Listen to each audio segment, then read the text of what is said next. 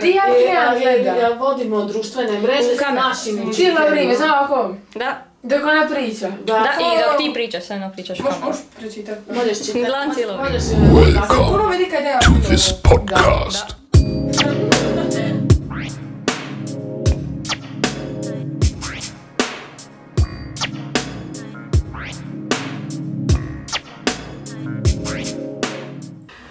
Dobar dan svima, ja sam nastavnica Marina Ležaja i predajem hrvatski u osnovnoj školi Slatine i voditeljica sam našeg CIMAJ projekta koji se zove Glas iz Slatina daleko se čuje.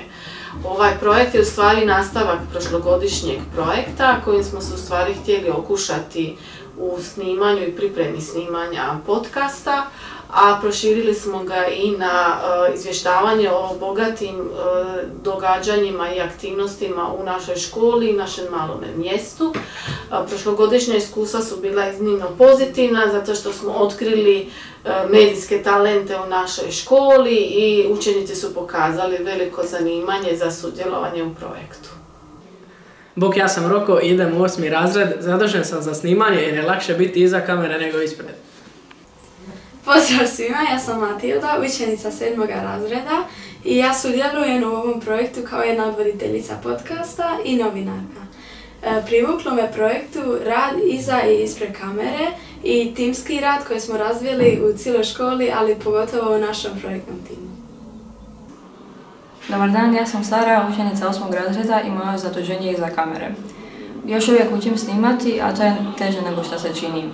Liječničarka me još uči kako, kao na primjer držati kameru, filmske planove, zoomirati i volim montažu. Ja sam Ivana, idem u sedmi razred, jedna sam od voditeljica podcasta, isto tako istražujem teme za podcast i e, pripremam pitanja. Dobar dan, nalazimo se u školskoj knjižnici osnovne škole Slatine.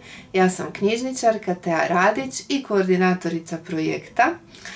E, s radošću sudjelujemo u projektu Cimaj. E, to je jedna od mojih e, velikih ljubavi vezana za snimanje i volim prenositi upravo ta znanja.